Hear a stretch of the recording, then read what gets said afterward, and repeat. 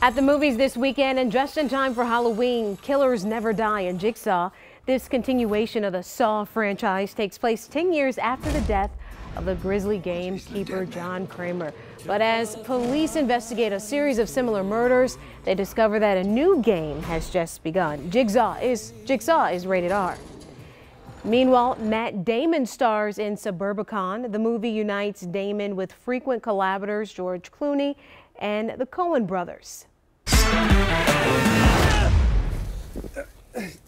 Damon plays a suburbanite in the 1950s who starts killing henchmen after getting in trouble with the mob.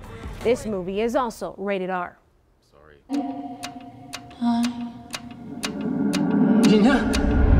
Just like that. I guess it's not really you, huh? And Blake Lively is blinded by love, and all I see is you. She plays a blind woman enjoying a happy marriage to her husband, Jason Clarke.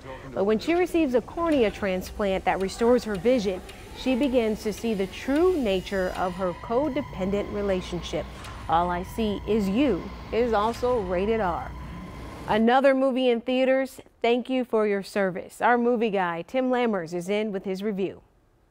The new biographical war drama, Thank You for Your Service, opens today in theaters everywhere. It stars Miles Teller as Andrew Schumann in his compelling true life story. Let's take a look. You're sick, and I can't do anything if you don't talk to me, Adam. I have to be sick or I can't get my benefits. So you don't want to die? It was multiple choice, and you said you wanted to die. Was that a lie? Hmm?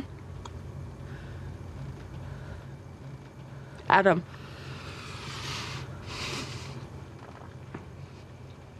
I don't know. That's Miles Teller and Haley Bennett in a scene from Thank You for Your Service. The film is actually written and directed by Jason Hall, who was nominated for an Oscar, Best Adapted Screenplay, in fact, for American Sniper, the story of Chris Kyle in 2014.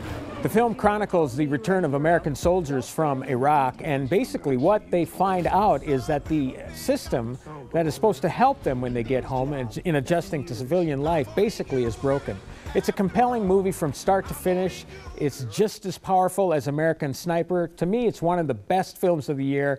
Definitely put it on your calendar this season. It's going to be an awards contender.